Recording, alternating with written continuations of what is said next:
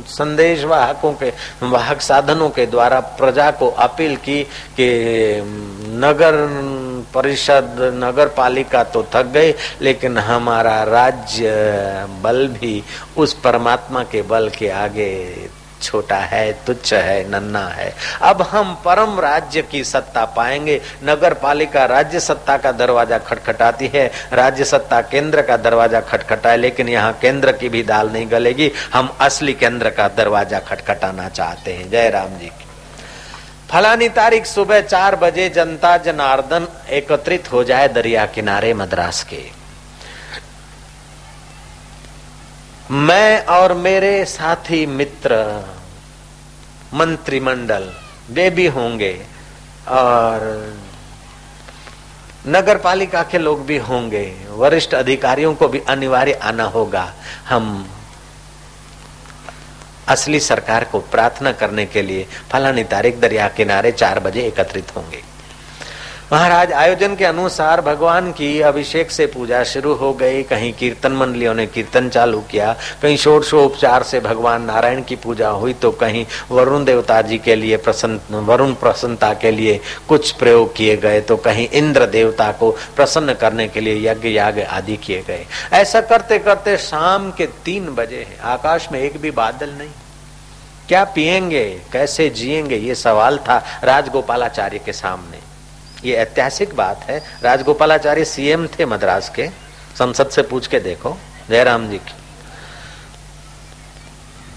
साढ़े तीन बजे कार्यक्रम सब संपन्न हुआ। विद्वान ब्राह्मण यज्ञ करके पूर्णाहुतियों का नारियल अर्पण कर दिए। कीर्तन वालों ने कीर्तन किया। ठाकुर जी को भोग लगा दिया। जप वालों ने जप किया। पाठ वालों ने पाठ किया। स्तोत्र वालों ने स्तोत्र किए। सबको जो जो सौंपा गया था, उन्होंने अपना कार्यक्रम संपन्न किया।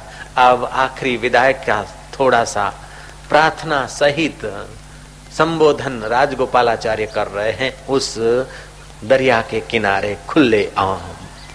हम लोगों ने सुबह से लेकर वरुण देवता को, भगवान नारायण को और भगवान इंद्रदेव को अपनी अर्जी दे दी है, अपना प्रार्थना पत्र दिया है। मनुष्य की अपनी सीमा है और भगवान की शक्ति असीम है। और मनुष्य का मन भगवान की असीम शक्ति से फुरफुराता है। हम लोगों का भाव शुद्ध और प्रार्थना सच्चे हृदय से होगी तो भगवान ज़रूर कृपा करेंगे। अभी तो चाहे कोई एक बादल भी नहीं दिखता है, लेकिन उसके हाथ की तो ऐसी कारीगिरी है कि वो कर्तुम शक्यम, अकर्तुम शक्यम, अन्यथा कर्तुम शक्यम है। इसलिए कोई उम्मीद मत मिटाना, श्रद्धा मत हटाना, आप अपने अपने घर जाइएगा। मैं तो भगवान को और आपको फिर फिर से प्रार्थना करता हूँ कि आप भी प्रार्थना करें, भगवान को और भगवान हम पर करुणा करे। हे वरुण देव, अब हमारे बश की बात नहीं है इंद्र देव आप मेघों को भेजने की कृपा करिए। हे आदि नारायण प्राणी, मात्र के हृदय में तुम हो, हमारे कोई भूल पाप अपराध हो गए हों तो मूँगे गायों को और पशुओं को देखकर भी आप बरसने की कृपा करो और निर्दोष लोगों पर आप करुणा करके, हे करुणा वरुणालय, आप अपने उदार हृदय से उदार नीति से हम इन अनाथों की मांग को स्वीकार करने की कृपा करना गदगद वाणी से भरे कंठ से आँखों में आँसू है।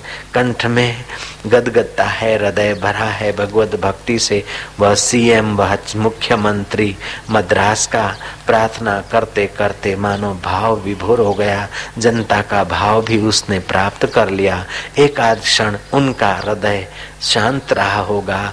अनहद सुनो बड भाग्या में, उनकी वृत्ति पहुँची होगी। प्रार्थना करके वे अपने अपने घर गए, भोजन बनाया, पाया। शाम को देखते कोई बादल वादल नहीं। संध्या हो गई तारे टिमटिमाते हैं और तारों की टिमटिमाहट कहीं कहीं नहीं दिखती है। थोड़े थोड़े बादल एकत्रित हुए। लोग सो गए हैं। ठीक रात को दो बजे मद्रास में ऐसी जोरों की बारिश पड़ी। ऐसी जोरों की बारिश पड़ी। महाराज, क्या कहना? जो पूरे बारिश में रेड स्टोन लेक भरता था, वह रात्रि को दो बजे से लेकर छह बजे सुबह तक बारिश ऐसी पड़ी। रेड स्टोन लेक तो भर गया, लेकिन छलका ऐसा छलका और बारिश ने चाहू तरफ़ से ऐसी कृपा की दी, कर दी कि मद्रास की सड़कों पर नावें चलानी पड़ी, ऐसी नौबत आ गई। जब वो देता है तो छप्पर फाड़ के देता है। तुम्हारा मन एक कल्प वृक्ष है।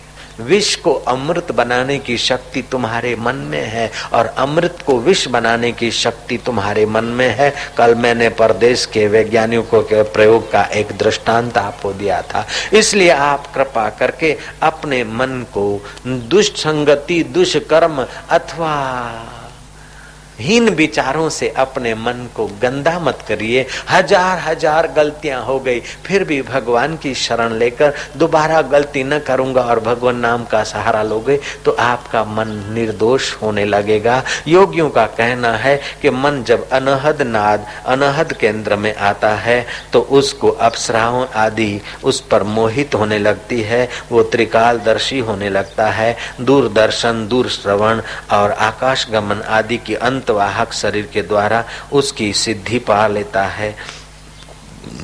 उसे भूचरी सिद्धि भी प्राप्त होती है। और वह योगी ब्रह्मा, विष्णु, महेश जिस आत्मा परमात्मा में रमण करते हैं, उस आत्म सुख में वह योगी त्रिलोकी में विचरण करता हुआ भी अपने आत्मा में विचरण करता है। इस योग को ज्ञानेश्वर महाराज ने ज्ञानेश्वर गीता के छठे अध्याय में बड़ा सुंदर ढंग से वर्णन किया है कि ऐसा योगी देवों का देव होता है। वह योगी जिस धरती पर जहाँ कदम रखता है, वह धरती पूजने योग्य हो जाती है। योग वशिष्ठ महारामायण में भगवान राम के गुरु ने कहा है, हे राम जी, इक्ष्वाकु राजा ने जब मनु महाराज का आवाहन किया तो मनु महाराज ने उपदेश देते हुए कहा कि, राजन, तू नित्य अंतर्मुख हो और फिर तू जिस ईंट पर पैर रखेगा, वो ईंट पवित्र हो जाएगी। जिस वस्तु को छुएगा, वो वस्तु प्रसाद बन जाएगी और जिस पुरुष के तरफ़ तेरी दृष्टि पड़ेगी, वो भी पाप मुक्त हो जाएगा। परमात्मा का ध्यान ऐसा महान है। भगवान शिव ने वशिष्ठ को कहा कि तेरा निमेश इस अंतर्यामी आत्मदेव का ध्यान करने से बाज पे यज्ञ का फल होता है। सत्रह निमेश उस परमेश्वर अंतर्यामी ईश्वर में गोता मारने से। राजसु यज्ञ का फल होता है, एक मुहूर्त अथवा एक पहर, उस पर ब्रह्म परमात्मा के ध्यान में रमण करने से अश्वमेघ यज्ञ करने का फल होता है।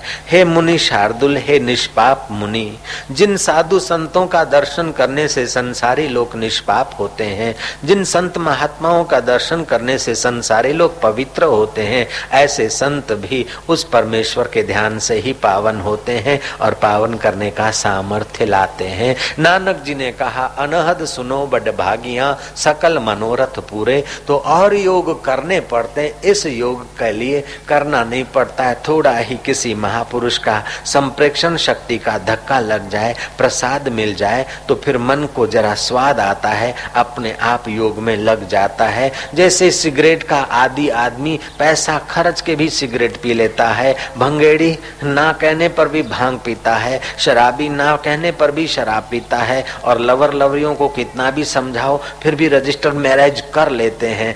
ऐसे वो तुम्हारा मन रजिस्टर का बाप का बाप परमात्मा के साथ मैरिज कर लेता है। स्वाद आ जाए भैया बस। मन को अगर परमात्मा सुख का स्वाद आ जाए तो जैसे लवर लवरिया कुल रीत रिवाज सबको छोड़कर भी धड़ाक, धुम जंप मार देते हैं। फिर चाहे कुछ भी हो, लेकिन